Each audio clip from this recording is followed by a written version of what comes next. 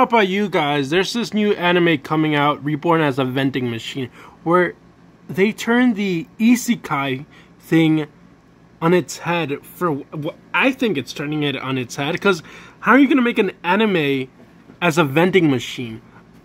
Maybe the manga is good. I really don't see how you can accomplish this. Uh, you know, let's read it. Let's read it real quick. Uh, written by uh, I don't know how to say that. Okay, cool, cool. Okay, cool. It's a web novel. Mm, I should have known it's a web novel. After dying in a traffic accident, Truck-kun hits again. I find myself standing near an unfamiliar lake, by my body won't move. I can't hear my voice, and when I try to shout out in confused words, I never expect to come out. Get one free with a winner.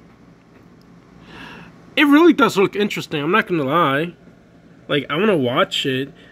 Is it gonna be the next level anime? I don't know, dude. That's that's kind of crazy.